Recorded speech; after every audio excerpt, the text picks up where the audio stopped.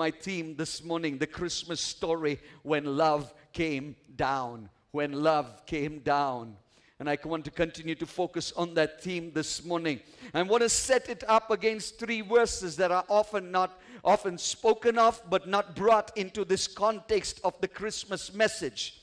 Well, listen to this. John chapter 3, verse 14 to 17.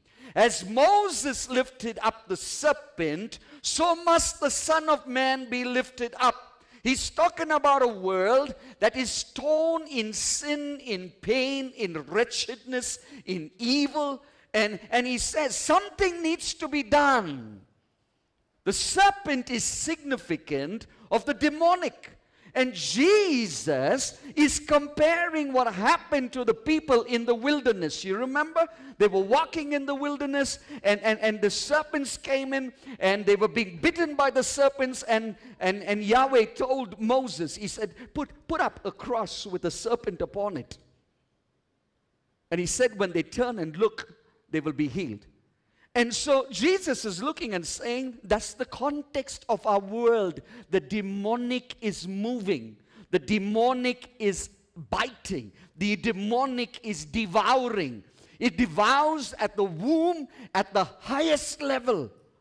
It devours at the one year olds at the highest level. It devours children at the highest level. He said, but something needs to be done. And Jesus said that something has not changed when the demonic moves.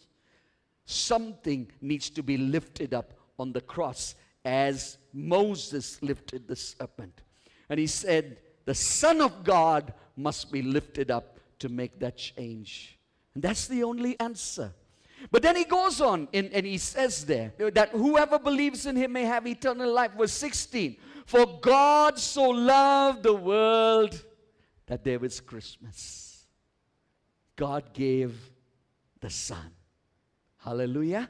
I hope that your translation of Christmas is right in John 3:16 when somebody asks you what is Christmas you simply say God loved the world that he gave the son for what there was a need to lift something up before the world so that people might be saved. Hallelujah. Are you receiving the word just now? Catch that picture. It's not baubles, it's not lights. We have decorations, we have everything around us because God decorated our lives that Christmas. It was a painful Christmas in Jerusalem. It was a painful Christmas in Bethlehem. But today we celebrate because the Son was lifted up upon that cross. Again, from Titus chapter 3, verse 3 to 7. For it wasn't that long ago we behaved foolishly. You want to see what's happening? That context, why was somebody needed to be lifted up? In our stubborn disobedience, we were easily led astray as slaves to worldly passions and pleasures. We wasted our lives in doing evil with hateful jealousy. We hated others when the extraordinary compassion of God, our Savior, and His overpowering love suddenly appeared in person. What is Christmas? The extraordinary love of God suddenly appeared in person. In person. God didn't just send you a love letter. God didn't just send you a flower. God sent you a person. The person of his son. The extraordinary compassion of our God and his overpowering love suddenly appeared in person as the brightness of a dawning day. He came to save us, not because of any virtuous deed that we have done, but only because of his extravagant mercy. In this, the love, again, 1 John 4 9 to 10, another Christmas verse. In this, the love of God was made manifest amongst us. The love of God was made manifest amongst us. That God sent His Son into the world so that we might, hallelujah, we might live through Him. In this is love, not that we have loved God, but He loved us and sent His Son to be a, not away in a manger, not a little baby Jesus. No, no, No, no. God, there's, there is no birthday for God. The Bible says the incarnate God, the Logos, became flesh. He was there right from the beginning. In the beginning was the Word, and the Word was with God, and the Word was God. The same was in the beginning with God. All things were created by Him, and apart from Him was nothing created that was created. That God entered flesh, incarnation. God does not have a birthday.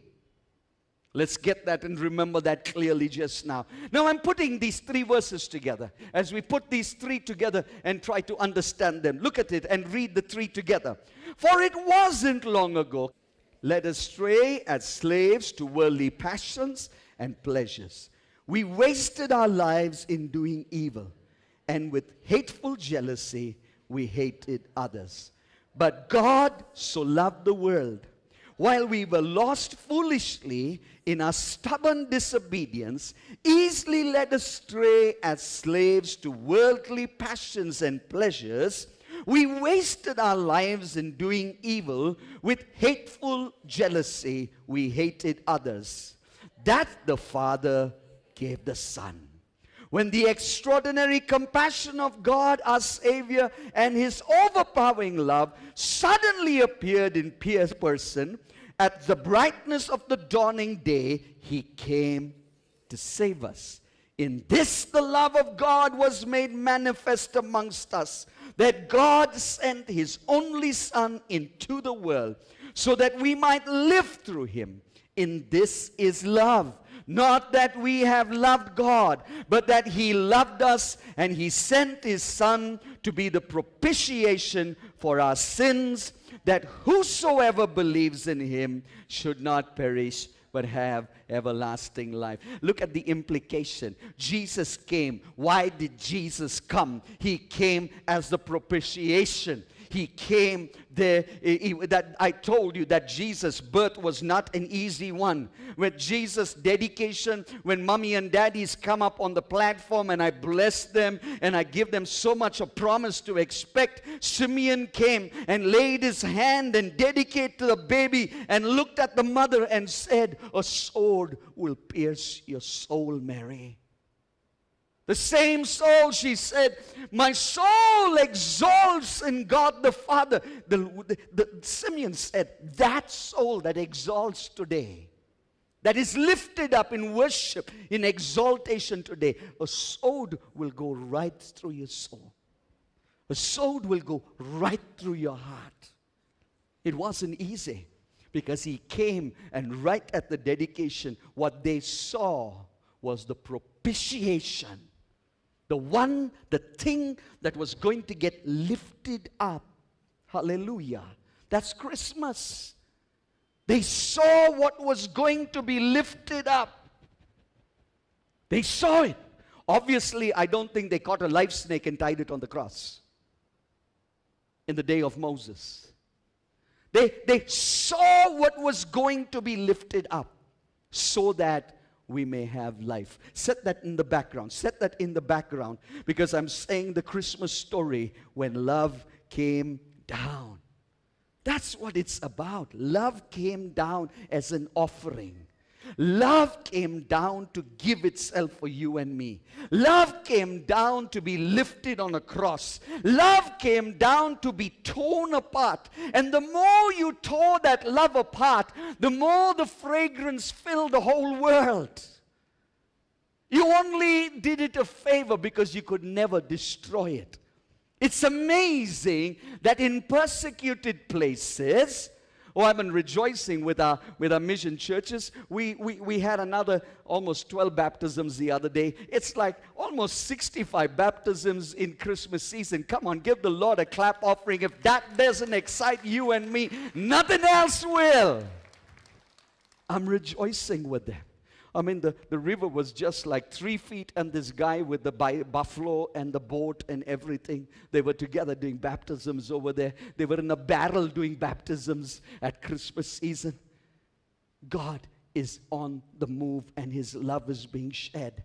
And I want for us to understand from those three scriptures, there's one thing in common between the three of them God's love came down at Christmas in person. Hallelujah. God's love came down in person. Hallelujah.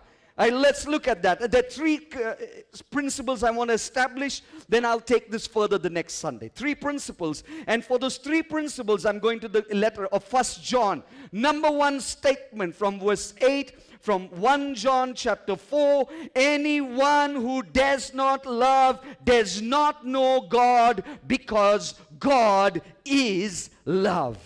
You've heard me tell you from, from Greek grammatical study uh, that, you know, very often when we say, I love you, then I is the subject, you is the object. And in the cases of the noun, the I is in the nominative case and the you is in the uh, accusative case so that it becomes the subject. And you make out the difference between subject and object by, by these differences. What is in the nominative? What is in the accusative? What is subject? What is object? This is one of the places in Scripture God and love are both in subject.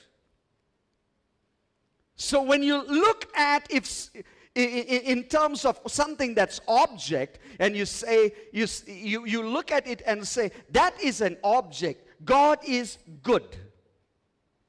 Goodness is is is there in god but it is associated with his works so it is outside.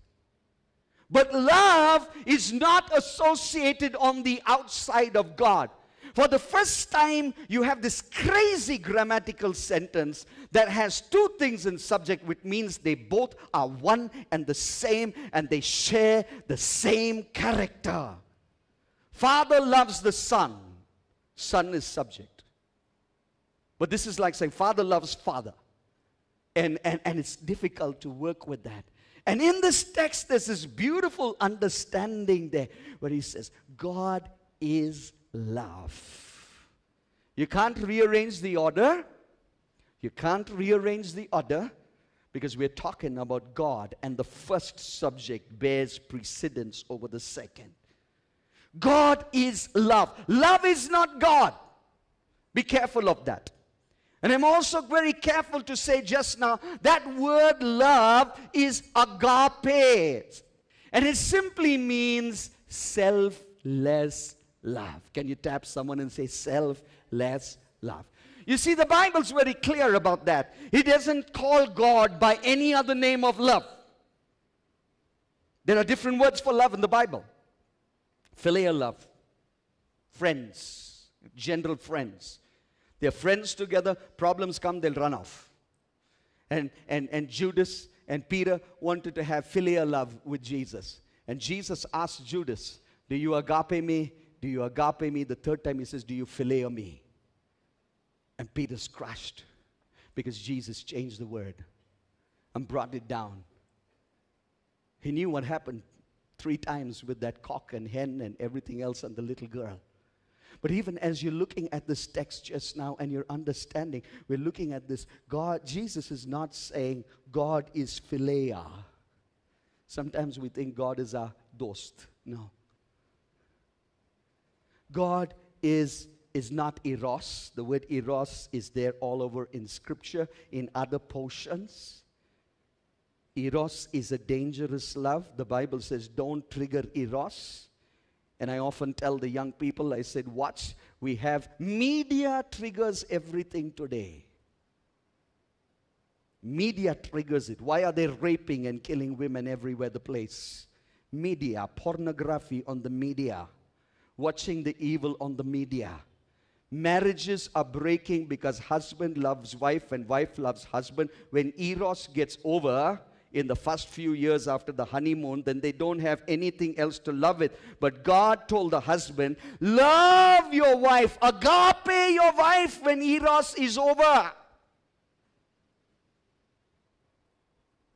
There's a different reason why those words are used there. Love your spouse, love your child, love your family, love your God, not with philia, not with eros, not with any of the other kind of loves in the Bible, but agape. What is that love? Agape love, we were hostile, we were angry, we were in hate. We hated people, we hated God, we walked away from God, we rebelled against God, and God looks and saying, I will send you the fullness of love.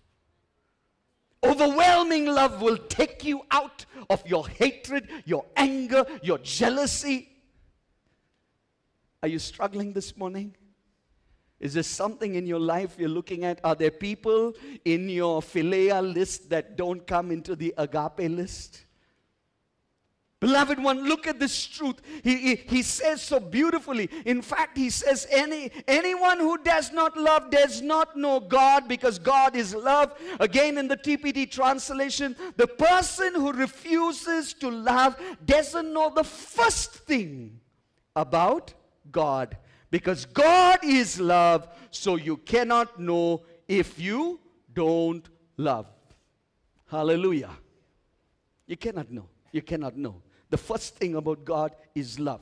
The first thing about God is not your sin. Many people say God, and the next word is sin. If you are a sin torn, sin dwelling, sin centered person, the God of the Bible is not for you. He says that's what you wear. You done all that stuff. And even when you were not looking at God, when you didn't want to have anything to do with God, God set agape in the midst of our evil and adversity. Hallelujah, somewhere. Hallelujah, somewhere. Hallelujah, this morning. This is the gospel of Jesus. This is the gospel. Many people want to have a gospel where sin is dealt with. The Pharisees and Sadducees had a gospel where sin could be dealt with. And I'm looking into this text and, and, and, and I'm looking at the understanding the, that God is a God of love. They departed from it. Their God became a God of sacrifice, of money, of tithing, of giving, of temple stuff. And, and Jesus takes the whip and says, You turn my father's house into a house of thieves. Why? The father said, I will put my eyes on this place. I put my name on this place. My ears will be in this place. You see, personal presence. And he says, he told Solomon, My heart will be in this place. This, my house, is a house of prayer. House becomes a house of prayer for those that are drawn and share heart. Are you catching what I'm saying? Prayer is meaningless, absolutely meaningless for religious people. Beloved ones, catch this. Catch this, catch this. You cannot pray. Sometimes you can. So some of those guys, they used to tie the Shema on their heads, walk around. You go to Israel today, you find them. Big boxes tied on their head, tied on the arms, put their gowns on, walk up and down. But they don't see a God of love. They don't see a God of love. And life for me is walking in the love of God. Hallelujah. Are you catching it this morning? Christmas message. What's our Christmas message? What's our Christmas core? What's our Christmas core this morning? God is love. Say that again with me. One, two, three. God is love. He's agape. He's the kind of love you never see anywhere. He's the kind of love that looks at you and me and says, Someone slaps you this side, turn the other side also. Someone says, Walk one kilometer, go with him two kilometer. Someone asks for one garment, give him two. Because that's the way he walked with us.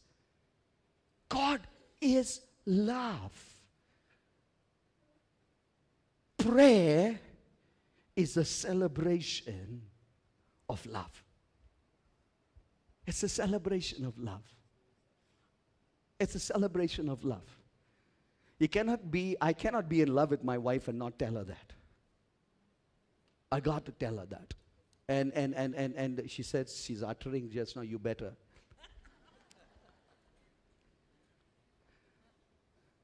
and I want to tell her that. And I wake her up from her sleep in the morning with those words. I wake her up and tell her, the first thing I tell her every morning is, I love you. I want her to go to the last words on, on the bed is I love you. If I if I pop off in the night, I want her to get up in the morning and know that my last words to her was I love you. And I make sure I do that. Because when you're in love, you speak. You speak, you tell, you communicate. You communicate. When we call, when we speak on the phone, we try to do our best even with our children when they go into school to remind them the last thing love you. Is it because everything is going right? No. When everything is going wrong, I want love to come into the picture. When everything is going hard, even when I'm hurting, even when we had a little argument the previous night, I want to make sure that when I get up in the morning and I put love in the right place. Because I've done it, I don't know about you, but I put argument the next day in place justice. I need justice. You said 25 words, I will have my 50 today. I've tried all that stuff. It's about the truth. And the Lord looked at me and said, It's about love. And I often, I, I fought wars with people because it was about the truth. And I've not realized that while Jesus said, I am the way, the truth, God says, I am love first. And if you and I are sitting here in the church this morning, I want for you to know that when you came into salvation, it is not that, that sin stuff. The sin stuff went on the cross, and love came down. Hallelujah. And love came down. That's Christmas. That's Christmas the King of love came down. I'm looking at these scriptures and, and trying to hold them together this morning because, beloved one, it's, it's, we want to believe today that not one person will go back home without really celebrating Christmas. Your family will find a place of prayer because you are so in love with God that you tell Him, that you call on Him, that you communicate with Him. My house is a house of love. Oh, that we will love the place of prayer. The place of prayer. Tithing is not an indication of love. You can tithe without love, without loving, but you cannot love without giving. Oh, you can get baptized without loving, but you cannot love Him without getting baptized. Love. You see, he spoke to them in Deuteronomy in, in chapter 6, and the whole of chapter 5 is Thou shalt not have any other gods before me. Thou shalt not make a graven image. Thou shalt not murder. Thou shalt not steal. Thou shalt not commit adultery. Thou shalt not covet thy neighbor's wife. All the thou shalls and thou shalt nots are, are listed one after the other in the Old Testament. And then when they thought they got it all, God said, Now hear me in chapter 6, verse 1. He's turning it and he's saying, Now this is the commandment, the statutes, and the rules that the Lord your God commanded me to teach you, that you may do them in the land in which you are going to possess it. So Moses is referring to those Ten Commandments. Then he goes in verse 3. And he says, Hear, O Israel, be careful to do them, that it might go well with you, that you may multiply greatly as the Lord of your fathers has promised you, in the land flowing with milk and honey. And then he switches in verse 4 and he says, I want to tell you why. I want to tell you how you'll follow them. He said, Hear, O Israel, the Lord our God is one God. Israel, You do that so that you can take care of yourself. Take care of your affairs. Make sure your life is running rightly. But what's the switch there? He says, Hear, O Israel, the Lord your God is one God. At the heart of everything that you are doing, you shall love the Lord your God with all your heart, with all your soul, with all your mind. Hallelujah. Look at the next verse in verse 6. These words, all the Ten Commandments, I command you today, shall be on your heart on your heart. It's not going to be just tied up in the stuff on your head. This stuff is tied on their head while they reject the Messiah. You can, you can have the Shema in your, in your head, but not in your heart. And that's the problem today. We want to theologize. The Lord our God is one God, the nations are pagans. Show that one God in the heart of love. You see, you continue to look at that. And he's telling them, he's, he's, he's telling them very clearly listen, I've given you 10 commandments, but I want you to know uh, what the, the center, the center of, of relating to your one God is you will love him with all your heart, with all your soul, with all your mind, with all your strength. Hallelujah. That's the core. That's the core. I always said the commandments are, are the, the edge, the, the wall, the fence. You, it holds you. You're going out, you want to murder someone, and, and he says, You shall not murder. But that does not mean to say you have a right relationship with God. And then you realize, I cannot do that. The Sabbath day is holy. Don't do that stuff on the Sabbath. And then, so what do I do? Turn back on the Sabbath day don't come. You see, they, they, they wanted to pride themselves and say, we don't kill, we don't, we don't covet someone else's wife, we are not committing adultery, we're not worshiping any other idol. And they wanted to say the fulfillment of the Ten Commandments was everything. And Jesus comes and says, You didn't understand the core. Father, which is the greatest commandment amongst those ten? And Jesus steps out of that and says, Thou shalt love the Lord thy God with all thy heart, with all thy soul, with all thy mind, with all thy strength. Many people think, don't make another God, don't make any idol, don't make an image. It's the greatest. It's not.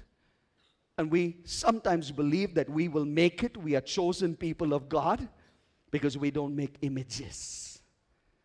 But the heart of his people was far from him. Look at him. He says, he says, this is what? These are the words I command you today, and they shall be on your heart. While the Ten Commandments were on a stone, the Father said, Put these words in your heart. What were the words in the heart? You will love the Lord your God with all your heart, with all your soul, with all your mind, with all your strength. Hallelujah. And but the Jews wrote the Ten Commandments uh, on their hearts rather than this. And missed out on the Messiah. Look at what he says. And all these words I command you shall be on your heart. You will teach them to your children. You will talk about them when you sit in your house. What? Love the Lord with all your heart. Love the Lord with all your soul.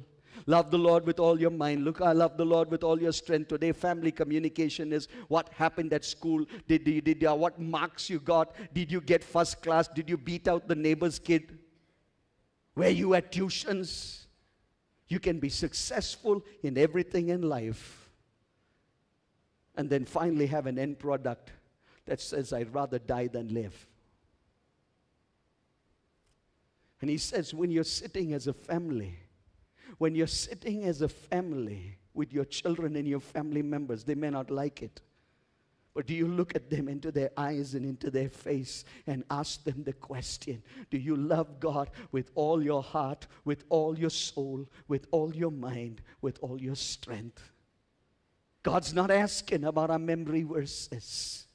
God's asking if this is there. You will teach them when you sit, when you walk in the way, when you lie down, when you rise, you will bind them as a sign on your hand, and, and it shall be on the frontlets of your eyes. You will write them on the doorposts of your house. Verse 10 And when the Lord your God brings you to the land that he swore to the fathers, to Abraham, Isaac, and Jacob, with great and good cities that you did not build, and houses full of all good things that you did not fill, cisterns that you did not dig, and vineyards and olive that you did not plant. And when you eat and you are full, then take care lest you forget who brought you out of the land of Egypt, out of the houses of slavery. Lest when you get the TV, lest when you get the music system, lest when you get the sound system, lest when you get the beautiful building and you get the and, and it's all on loan and you have a three bedroom house and you have a lovely position in the office and you've attained a good position and standing with the neighbors and, and, and, and your money is increasing, your riches is increasing,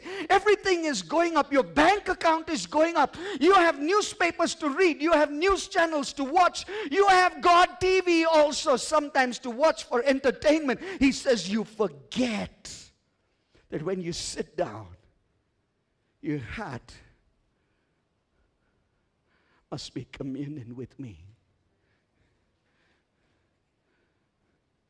For you will spend two hours in front of the TV and five minutes of family prayer.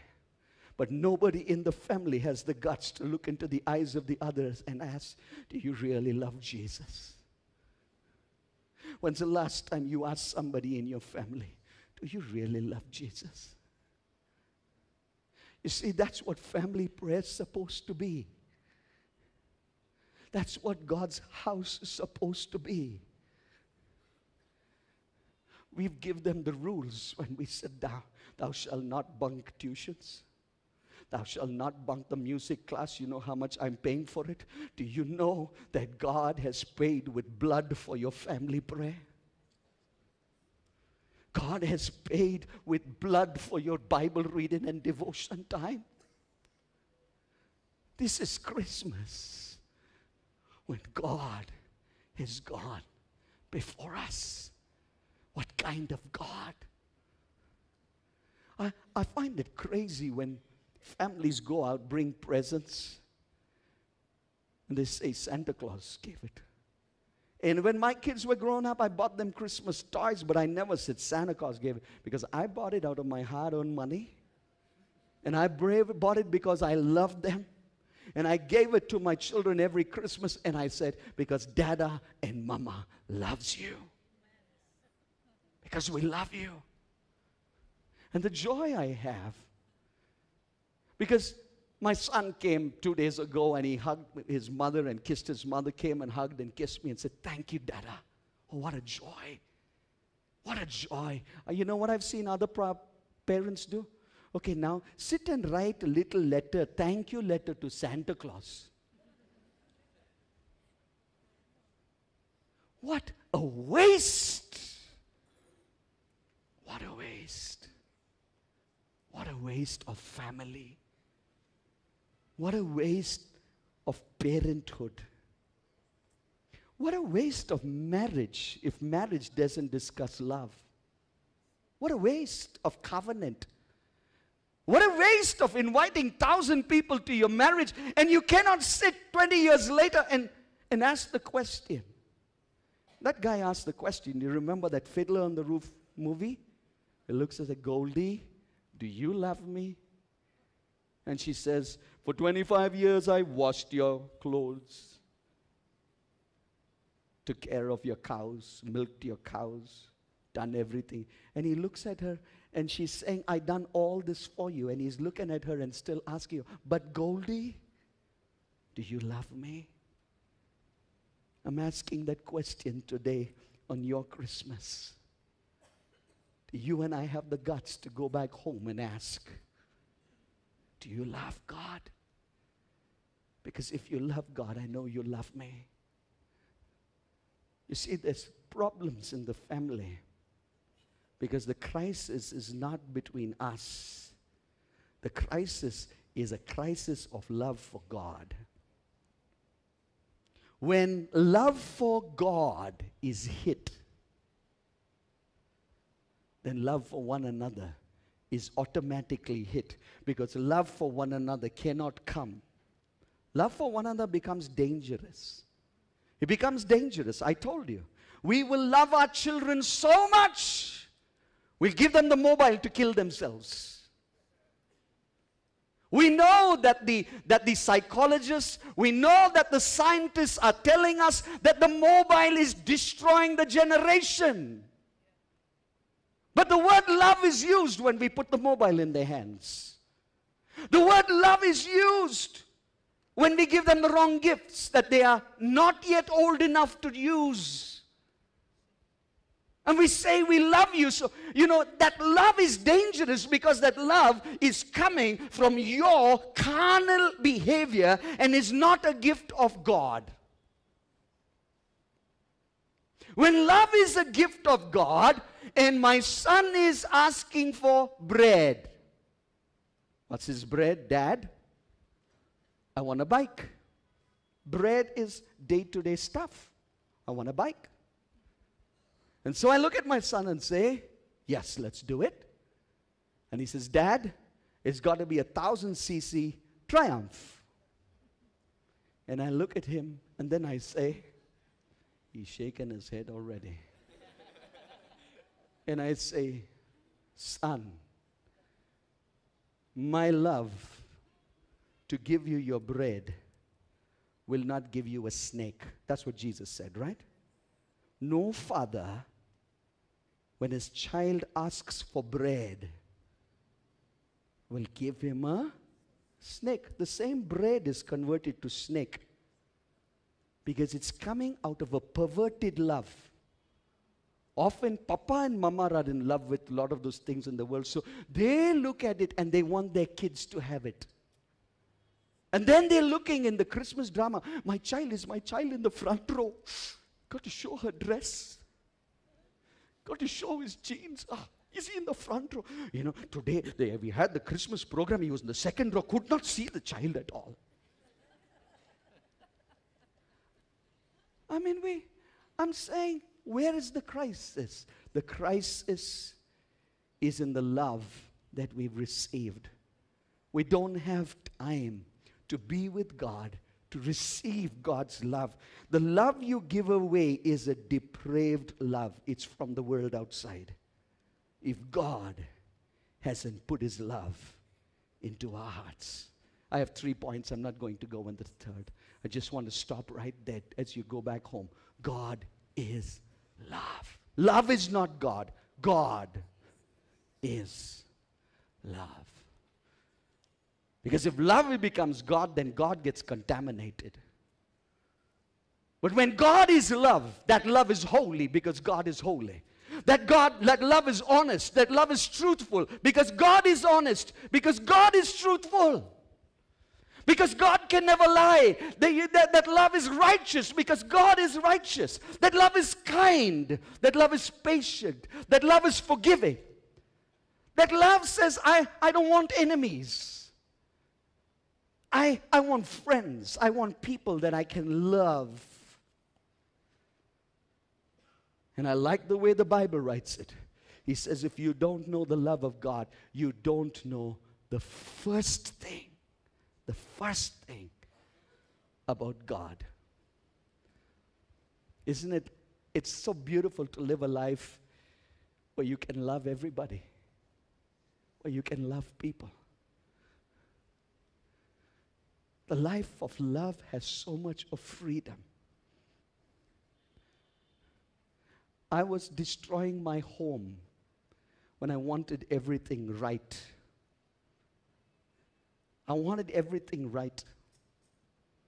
I wanted my family to do everything correct. And God said, It's not about being right, it's about love. If your family is not convinced that you love them, you can do everything correct. And then find out that your child is not going to school. And then find out years later that your son is on drugs.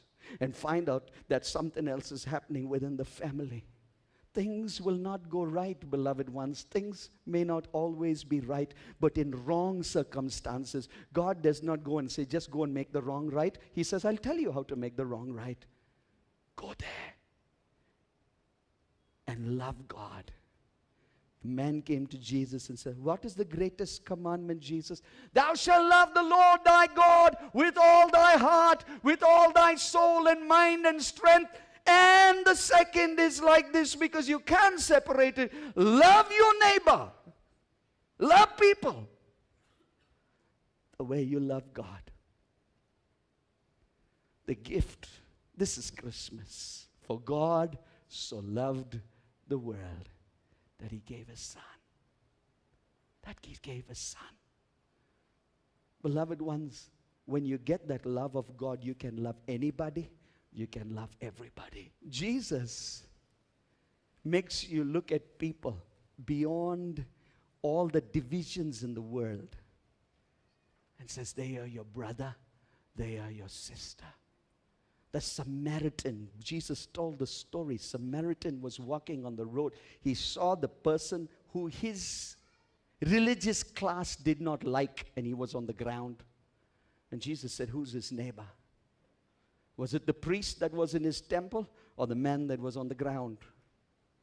But he found love when he found the man that was on the ground. You see, beloved ones, as we as we pray just now, as we close the service just now, Christmas is not the cake. Christmas is not the dressing. Can you sit with your family today? Look into the eyes of your child. Look into the eyes of your wife. Look into the eyes of your neighbors. Look into the eyes of people and be able to honestly tell them, because God loves me, I love you. Because God loves me. The walls and the barriers suddenly disappear. Suddenly disappear because God is love.